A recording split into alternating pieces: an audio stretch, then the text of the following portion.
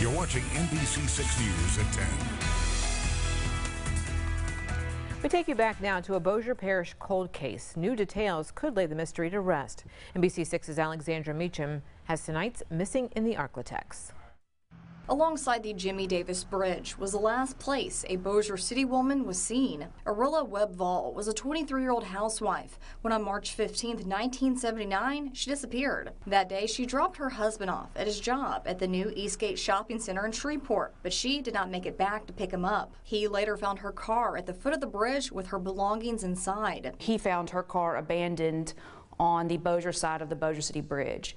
Uh, one of the front tires was flat. It later discovered it had been punctured, and Arilla Vaul Webb has never been seen since. Captain Shannon Mack of the Bossier Parish Criminal Investigations says witnesses at the time reported seeing a white man in a white pickup truck pull over next to her car. Captain Mack says new information may reveal what happened. After some time period, people will tend to know things about cases and not think they're important or know about them and after all these years feel comfortable talking to police about them when in 1979 and 1980 they may have been scared too. Even though the worst is suspected to have happened to Webb Vaul and her immediate family members have since passed away, Max says they'll keep pressing for answers to close the case. Cases are getting solved everywhere with DNA, with um, family genealogy is what they're using now.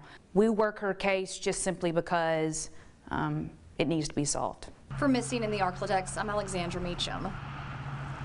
And if you have any information on this case, Bossier Parish detectives would like to talk with you. If you have a missing persons case you want reported, just let us know.